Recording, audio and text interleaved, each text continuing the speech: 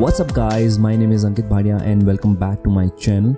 So today we're going to talk about this tutorial where we're going to apply the transitions on the beats. So you just gotta have to find the beat in the music and then you have to apply the transitions accordingly. Now I'm going to show you one example here that I use in one of my recent videos.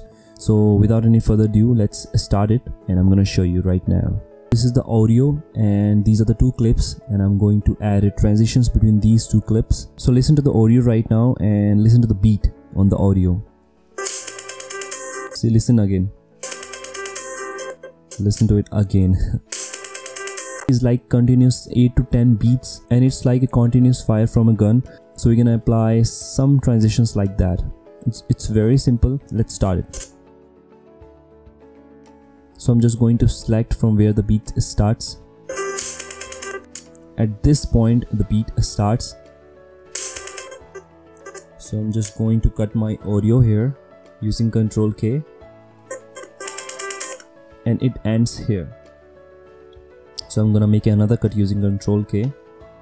I'm just going to drag this audio video file.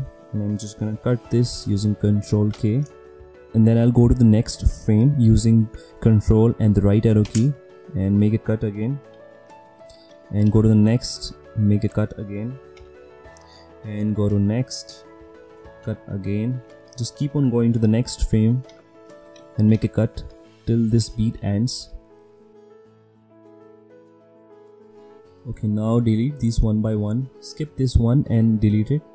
Skip one and delete. Okay now listen to the track okay similar way just cut this.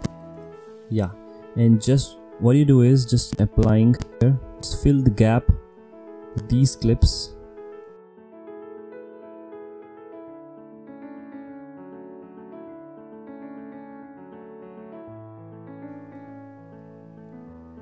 Okay cut more. Yeah that's it. Just fill this gap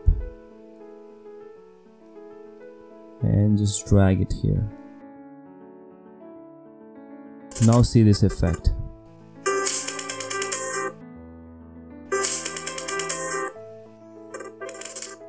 It's a very cool effect. It's like you're going from one clip to another clip but it's mixing it up with the beats and that looks very good. So watch this again